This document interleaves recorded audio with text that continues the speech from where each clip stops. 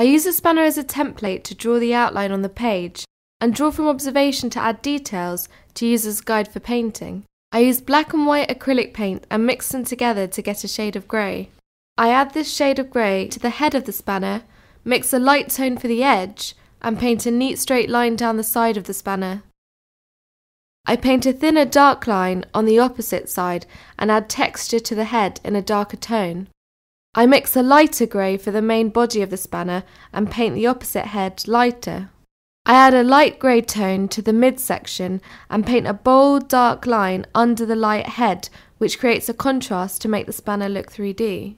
I create a gradation from dark to light on the light head. Underneath the dark head, I emphasize the darker tone to make the contours of the head glimmer.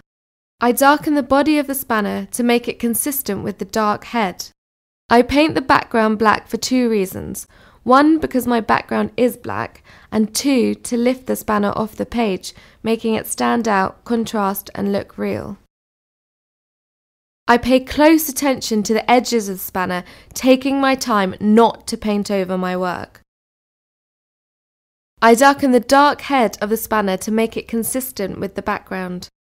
I look carefully at my painting and make final tweaks to complete it. And that is how to paint a spanner using black and white acrylic paint.